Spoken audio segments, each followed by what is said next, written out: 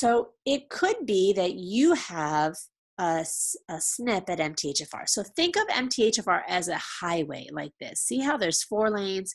It is an enzyme that's going to take something and turn it into something. So it's a highway. So depend other things affect how that enzyme works. For example, the time of day affects traffic.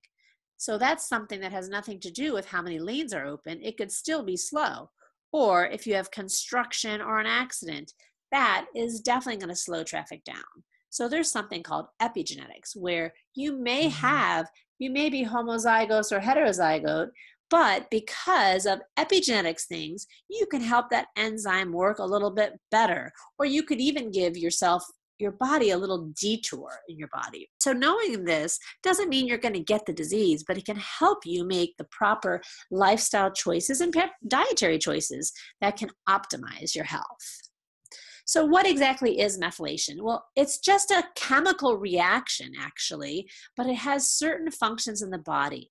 It has to do with genes, it turns them on and off has to do with the conversion of food into energy. So, a lot of times, people who have MTHFR can have fatigue. It also is involved with making your cell walls in your body.